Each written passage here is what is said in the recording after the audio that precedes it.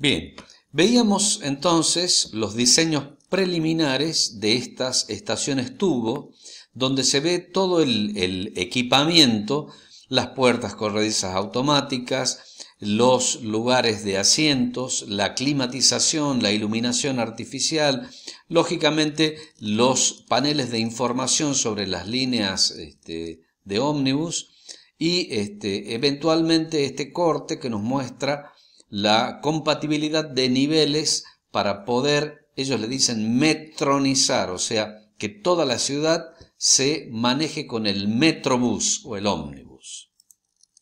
Acá vemos claramente una de las estaciones tubos, la de Plaza Osorio.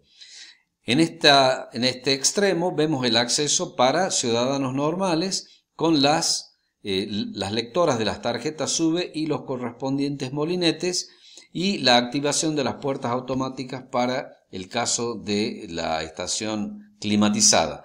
En el otro extremo veremos la plataforma de acceso de la silla de ruedas. Acá vemos un modelo de ómnibus biarticulado que lógicamente necesita un diseño especial vial para poder girar adecuadamente. Acá vemos el acceso de la plataforma de la, silla de ruedas y presten atención a que en este caso no hay molinetes, o sea que los discapacitados tienen un este, subsidio especial para el transporte. Acá vemos claramente cuando combinan una, estación con el, acceso para común, sí tienen el molinete. Para la silla de ruedas no. Acá vemos el resultado de un relevamiento muy importante que se hizo en Curitiba, donde se puede ver la comparación de la eficiencia funcional entre el transporte público de pasajeros, acá expresado en dos ómnibus, y el transporte particular de pasajeros. Este es un ómnibus biarticulado que tiene una capacidad máxima de 270 pasajeros y este es un articulado simple con 160. Entre los dos, el Metrobús transporta 430 personas. Y en todos estos autos que corresponden a la magnitud de igual tamaño, solamente se están transportando 22 personas, incluidas taxis y motos, a un promedio de ocupación de 1,2 pasajeros por vehículo, contra los 430. Entonces, se ve claramente cómo, en términos de fluidez del tráfico y en términos de contaminación ambiental, el transporte público de pasajeros resulta mucho más eficiente que el transporte particular de pasajeros. Acá veremos cómo se han peatonalizado algunas zonas de la ciudad este, con intervenciones de pavimentación para, peatones, iluminación, floreros y otros eh, tipos de equipamiento urbanos en seis manzanas que en la actualidad son 15 de este programa que comenzó la peatonalización en 1972. Cómo se han ido agregando elementos de equipamiento urbano y se han ido peatonalizando de manera este, parcial algunas calles donde están cerradas al tráfico en algunas horas del día que permiten la, la realización de estas actividades de carácter cultural popular. Acá se ven las calles comerciales, etcétera, como, como en una ciudad de las nuestras con sus peatonales. Acá vemos lo que decíamos, la integración de transporte público y servicios gubernamentales tales como estos pequeños centros de atención primaria de la salud, los vacunatorios, por ejemplo, eh, el Rapipago y su banco con su cajero automático, la terminal de correos, eh, una delegación del ANSES, una delegación del registro civil, de la AFIP, por ejemplo, lógicamente un pequeño destacamento policial por razones de seguridad, porque ahí hay mucho movimiento de pasajeros, pero digamos que estas calles de ciudadanía resuelven la descentralización de los servicios gubernamentales utilizando la misma infraestructura de la terminal de transporte. Entonces es una terminal híbrida de transportes y de servicios sociales. Con respecto al medio ambiente, hicimos referencia que fue una preocupación del de, eh, arquitecto Jaime Lerner la maximización de el área verde por cada habitante. Y entonces Curitiba desarrolló a partir de su cinturón verde una serie de espacios públicos y de parques muy importantes donde se logra este, este número de referencia. Entonces, este indicador le está expresando la cantidad de metros cuadrados que por ciudadano, es decir, si un ciudadano va a un parque podría disponer para él solo de un área de 7 por 8, de 56 a 58 metros cuadrados. Eso da una idea de la cantidad de espacio verde disponible que hay para las actividades de esparcimiento y recreación, y estas superficies están distribuidas por toda la ciudad, como vemos en estas imágenes a continuación. Este es el parque de la, parque alemán se llama, entonces un parque temático de la comunidad alemana dentro de estos este, inmigrantes, el parque de la comunidad polaca, hay un parque acuático en una ex cantera de áridos.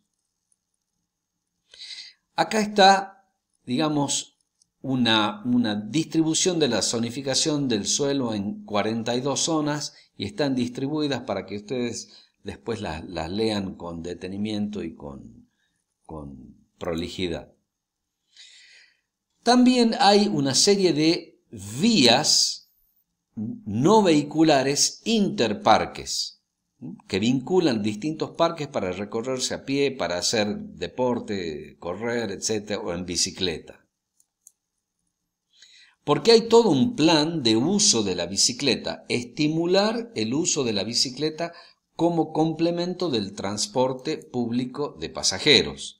Y entonces la dedicación de zonas exclusivas para bicicletas es parte de este plan de ciclovías que tiene ya varias décadas en Curitiba.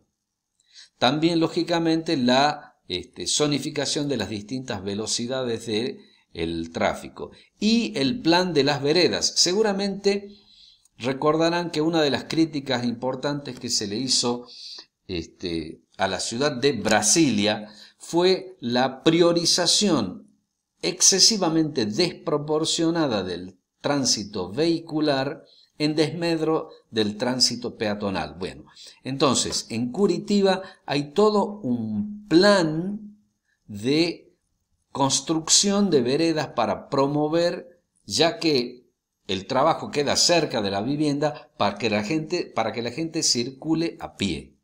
Y entonces el plan de las aceras, mejorando la accesibilidad en el caso de los discapacitados, mejorando la iluminación para poder tener zonas seguras, mejorando la textura de las aceras para evitar este, digamos, accidentes y que a su vez las aceras retengan el agua de lluvia y la usen para, la canalicen para los espacios verdes que tienen este, al lado. Entonces, en definitiva, aquí se tiene una clara visión de la ecuación de equilibrio entre desarrollo, densidad y calidad bioambiental y bioclimática, porque todas estas líneas de tensión, de aumento de la densidad, siempre, siempre están complementadas e infiltradas por las zonas verdes que tiene la ciudad. Este es el Parque Barigui, que forma parte de este cinturón verde. Esta es una, una, una vista panorámica de la escala de la ciudad comparada con las escalas de los espacios verdes y de los espejos de agua. Aquí tenemos una visión de la zona de los alrededores del centro donde se localiza en este caso es el Museo Oscar Niemeyer. Otra vista de la ciudad donde siempre se ve esta infiltración de los espacios verdes. Este es el jardín botánico de la ciudad en uno de los parques públicos. Esta es una de las, de las tantas plazas que hay arbolada generosamente, en este caso particular, con un lapacho amarillo, la Plaza Rui Barbosa. Este, dentro del Parque Tingui, es el memorial ucraniano, el memorial de la comunidad ucraniana, con una alegoría a las construcciones típicas de esa comunidad. Este es el parque japonés, el Parque Japón, Plaza Japón parecido al parque japonés de la ciudad de Buenos Aires, con el mismo estilo. La diferencia es que este es un poco más chico. El, parque japonés de la ciudad de Buenos Aires es extraordinariamente importante. Dicen que es el parque japonés más importante fuera de Japón del mundo. Este es el Bosque Portugal, en el, el, paseo público que es el parque más importante y más antiguo que tiene la ciudad de Curitiba. Esta es la Universidad Federal de Paraná, que es la Universidad de Curitiba. Este es el Museo Oscar Niemeyer con el acceso por la rampa al que hacíamos referencia.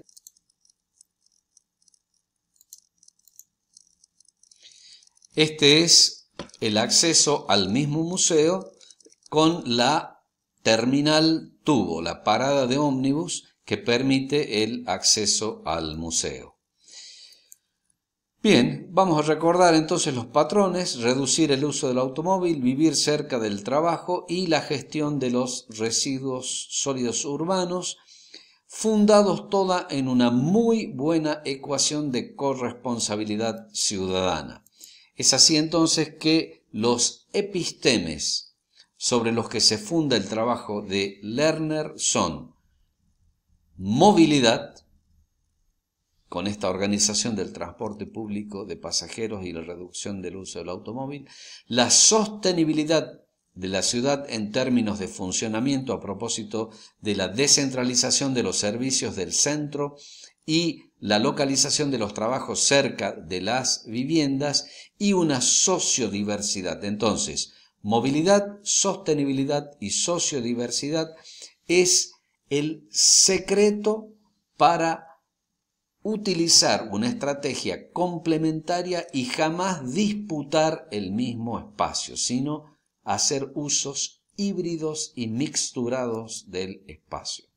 Entonces, la ciudad es una estructura vital donde se habita y se trabaja conjuntamente.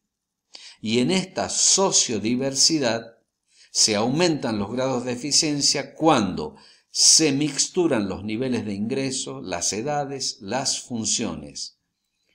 Así es como resulta más humana la ciudad.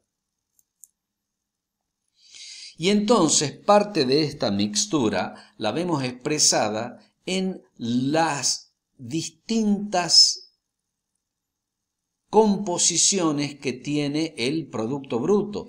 La administración pública solamente es un 21% de la población, el comercio el 17%, actividades administrativas 32%, industrias de transformación 9% y así sucesivamente.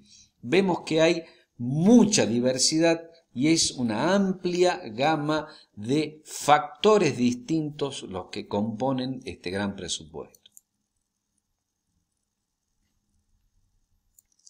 Y aquí vemos a Jaime Lerner, quien lidera un equipo creado en 1965 y denominado el Instituto de Investigación y Planeamiento Urbano de Curitiba, que es el equipo encabezado por este arquitecto y urbanista que le dio forma e implementó todos los servicios y todos los sistemas urbanos que describimos para Curitiba.